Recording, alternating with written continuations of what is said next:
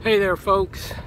So uh, I've got a little over uh, 500 miles or so on the bike here and um, just wanted to do a quick little review and then a full-on like uh, little uh, do kind of a condensed review of the build process there so um, you know after the getting 500 miles or so um, yeah the bike's great I've taken it out on some pretty gnarly rides and um, you know I'm not I I would I'd say I, I purposely taken it out on some some dirt roads washboard gravel roads and really uh, uh, hammered the crap out of it and purposely you know tried to break it if I could and um, you know braked it real hard on washboards. And so far the bike's held up great.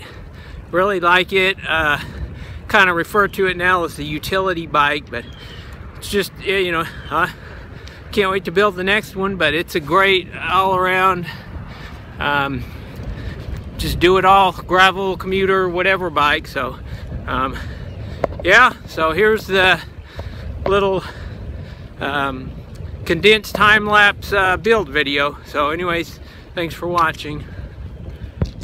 So I ordered this tube kit here and uh, it's basically uh, just a 4130 chromoly basic tubing kit.